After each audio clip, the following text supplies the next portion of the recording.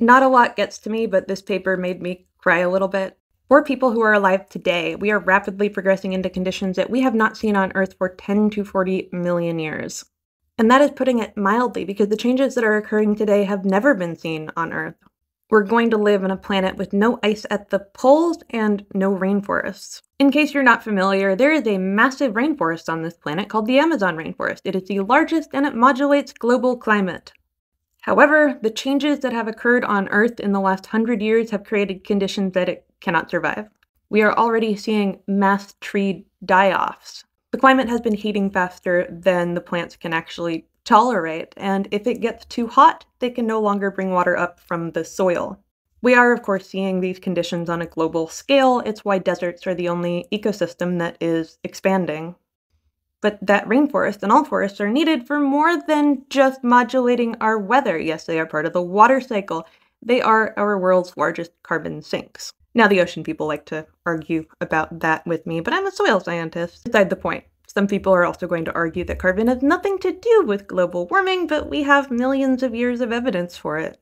Global temperature is rising so fast it is projected to reach Miocene levels by 2100. We are talking a time on Earth when it was very hot. This was actually supposed to end up reaching a cooling period eventually, but what we are doing in a hundred years is the same thing that we saw over thousands upon thousands of years. We already are at Miocene carbon in our air, so temperature is following. And 2100 is only in the case that things progress at the rate they are progressing now and they don't increase. There's just people's general jackassery. The whole world is already full of plastic. Even little critters that have been found at the bottom of the Mariana Trench two miles down have plastic in them. But hey, it's been reported that coral reefs cannot be saved. Yes, that place with the most biodiversity in our oceans.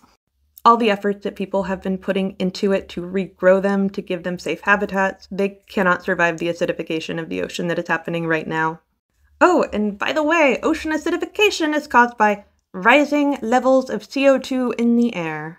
This is the same reason why you should not drink a lot of soda, carbonated soda, because carbonic acid is present and it will melt your enamel off. Turns out it's also wrecking our oceans. Hey, you know, sharks have been around for longer than the North Star. They're older than Saturn's rings.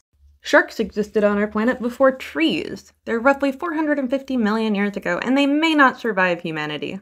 The changes that we have caused have been so rapid. It seems like a comet hitting our planet may have actually been better for our Earth than people. You know, I am an educator. I have to reteach people things every day because they heard something from their uncle Bob and well Bob said this. So if anyone wants to know why I am the way that I am, why am I excited for the robots finally rebelling? It's a pipe dream. It's a hope. Because any entity would probably do a better job of taking care of this planet than us. We are almost certainly the last generation that will have ice in the Arctic. Hey, if we stay on the path we're on, we'll have as much carbon in the atmosphere as the Eocene. People will be fleeing our coastal cities as they're then underwater. And as people end up crowding inland, we will not have the food to feed them because the temperatures will have taken our crops.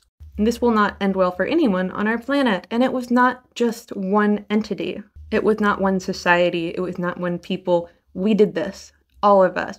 Humans are 300,000 years old. And in the last 100 years or so, we just wrecked everything. So if you ever wonder why I am the way that I am, I'm a soil scientist. I work in agriculture, in alternative fertilizers, and I've been aware of all of this. It was just very depressing news to see it all in one place. Follow for more. When it all ends, I'll probably tell you about it while we still have internet.